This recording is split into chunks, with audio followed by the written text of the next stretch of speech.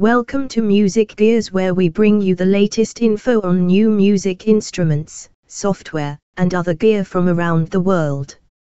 TC Electronic has launched System 6000 native DAW plugins, which they say offers all of the performance, character and usability of the iconic original flagship System 6000 hardware combined with modern-day convenience.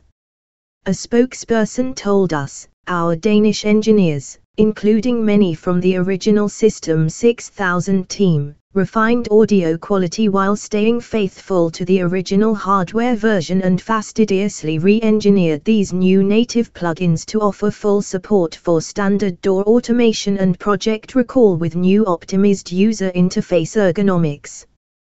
TC Electronics says that current VSS3 native users can update to the new version for free and are also able to upgrade to the full bundle. Pricing and availability MD3 native, 3 band expansion forward slash compression forward slash limiting, soft clip 199 US dollars. MD4 HD native, 5 band compression forward slash limiting, soft clip 249 US dollars. Nonlin 2 native, stereo effects reverb 199 US dollars. VSS 4 HD native, authentic space reverb 249 US dollars.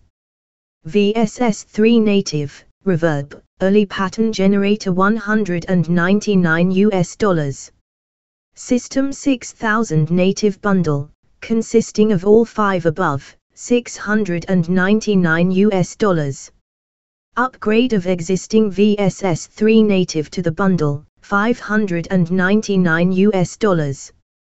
More information www.tcelectronic.com Please like this video if you found it helpful, and if you'd like to stay informed on the latest in music gear releases, please subscribe.